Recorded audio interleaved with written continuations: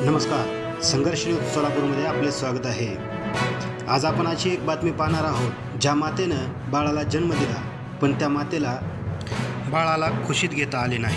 कारण बाळाला जन्म देताच त्या मातेचा रिपोर्ट कोरोना पॉझिटिव्ह आला होता. सोलापूर प्रसूतीसाठी शासकीय रुग्णालयात दाखल झाल्यानंतर तिची सर्वप्रथम कोरोना टेस्ट झाली. दरम्यान प्रसूती वेदना सुरू होऊन तिने एका गोंडस मुलाला जन्म दिला. त्यानंतर कोरोना चाचणी पॉझिटिव्ह आली. त्यानंतर बाळाची टेस्ट घेतली. बाळाचा रिझल्ट निगेटिव्ह आल्यानंतर बाळाला घरी पाठवले. तर आईला आयसोलेशन वॉर्डात उपचाराकरता पाठवले. आईने कोरोनावर केली मात.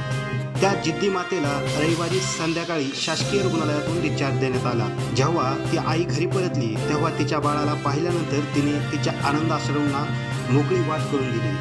परतल्यानंतर तिने वार्ताहरांशी संवाद साधताना सांगितले की बारा मे रोजी माझी प्रसूती झाली. मला मुलगा झाला याचा आनंद होताच सोबत मला आयसोलेशन वॉर्डात घेऊन जाणार अशी चर्चा डॉक्टरांमध्ये सुरू होती.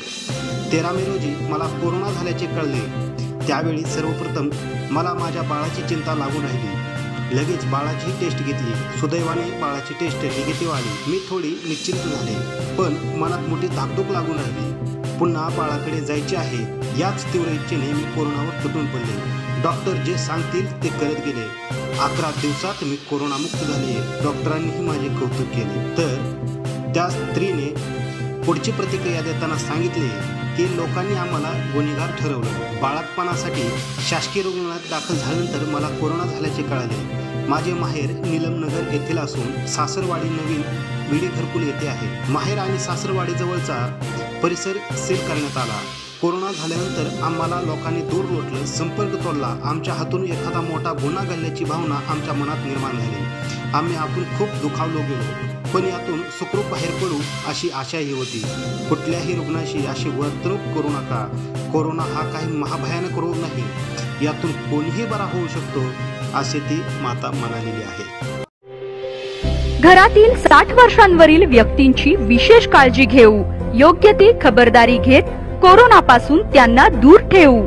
लवकर निदान व उपचार झाल्यास कोरोनातून बरे होऊ शकता. घाबरू नका.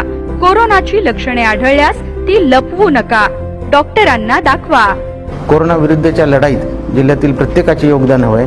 आपण सुरक्षित राहा व कुटुंबियांना सुरक्षित ठेवा चला प्रशासनाला देऊ साथ. सारे मिळून करू कोरोनावर मात.